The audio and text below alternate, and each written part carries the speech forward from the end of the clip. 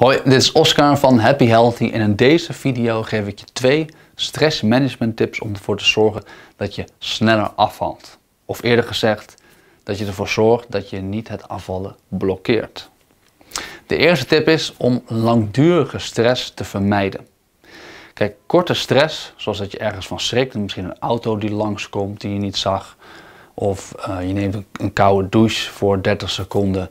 Die stress is eigenlijk goed, het maakt je, maakt je scherp, het uh, daagt je lichaam uit. Maar de stress op lange termijn, dus echt dagen, weken, maanden of jaren, uh, dat zorgt ervoor dat je eigenlijk sneller vet gaat opslaan. En met name bij vrouwen is dat dan sneller buikvet. Hè? Dus je gaat vet opslaan rond de buikstreek of rond de heupen als vrouw zijnde.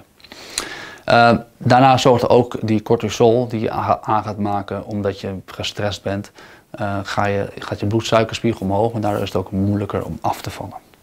Overigens is cortisol niet uh, zozeer je vijand, het is eigenlijk het anti-stresshormoon, want het probeert je te beschermen van de schadelijke gevolgen van het ervaren van stress. Dus cortisol is niet zoals heel, op heel veel sites staat het stresshormoon, maar eigenlijk het anti-stresshormoon.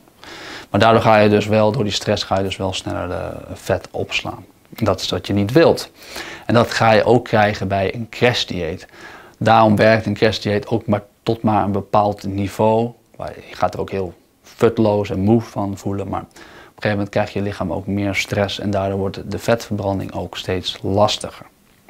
Dus als je ervoor wil zorgen dat je cortisolgehalte laag wordt, dat je dus minder gestrest bent, zijn er een aantal tips. Nou, eentje daarvan is dus volg geen crashdieet.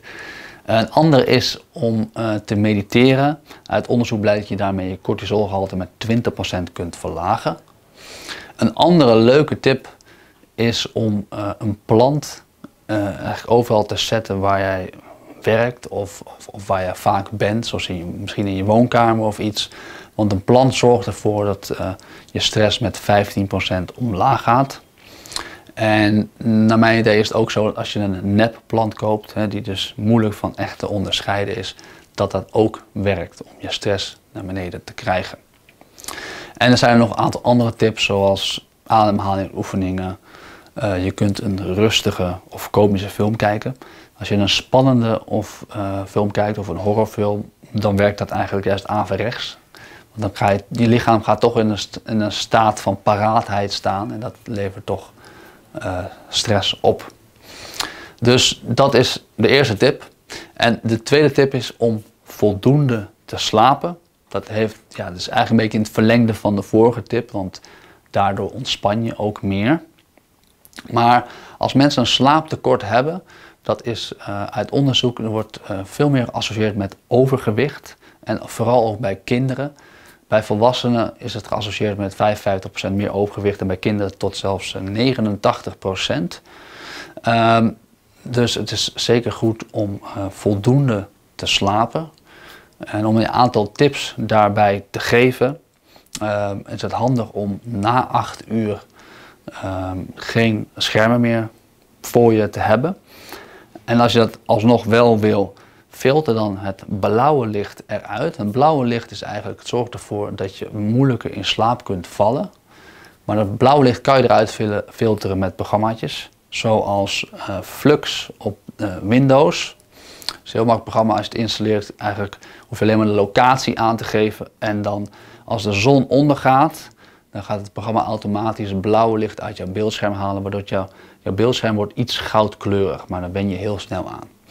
Voor Android heb je ook zo'n programma. De, eh, dat is de app Twilight. En voor Apple hebben ze zelfs in de instellingen, in de standaard instellingen, hebben ze uh, Night Shift heet dat. Kan je dan aanzetten. Um, en dan wordt ook het blauwe licht eruit gefilterd, waardoor je makkelijker in slaap kunt vallen. Daarnaast kun je ook uh, cafeïne vermijden na, ja, na 8 uur, liefst al daarvoor al wat, ja, liefst al um, aan het einde van de middag daarmee stoppen. Zoals in koffie, in cola, maar ook in uh, groene thee. Um, andere tips is om de kamer uh, zo donker mogelijk te maken. Dat, daarmee slaap je ook meestal beter. Je kunt er nog een app gebruiken. Er zijn verschillende apps waarmee je, je eigenlijk je, je slaap, um, slaapfases kunt zien en hoe goed je slaapt. Dat kun je bijvoorbeeld doen met de, de app Sleep Cycle. Die kost 1 euro. En dan leg je je telefoon naast je kussen.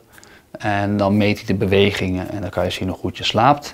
Ik raad je wel aan als je je telefoon naast je bed legt om hem dan op vliegtuigsmodus te zetten. Anders heb je de hele tijd de straling. En uh, daar, is, daar nu ook al van bewezen dat dat slecht voor je is.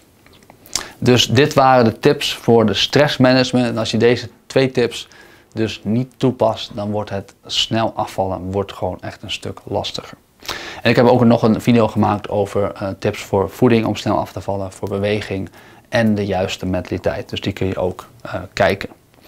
Ik zou zeggen succes met de tips en uh, tot een volgende video. Hey, dit is Oscar en vond je deze video leuk? Klik dan op de like button onderaan deze video op YouTube en abonneer je zodat je meer van deze video's krijgt. Als je een vraag of opmerking hebt, laat deze dan hieronder achter. Ik beantwoord deze altijd persoonlijk en zo snel als mogelijk. Er bestaan geen domme vragen, je kunt me alles vragen wat je wilt. Kijk naar andere leuke video's over snel afvallen. Linksboven ontdek je de 9 gouden voedingtips om snel af te vallen. En rechtsboven ontdek je de 2 gouden sporttips om snel af te vallen en rechtsonder 5 gouden mentaliteittips. Onderaan kun je klikken naar mijn quiz. Hiermee kun je je persoonlijke afslankingkuur testen. Succes!